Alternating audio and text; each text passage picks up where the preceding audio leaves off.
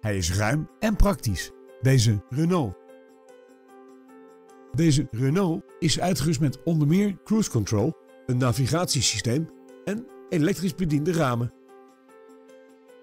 Deze Renault is voorzien van een schuifdeur rechts en een volledig tussenschot. Uiteraard wordt deze bestelwagen geleverd met nationale autopas. Bent u geïnteresseerd in deze uiterst praktische bestelwagen? Neem dan contact met ons op voor een proefrit.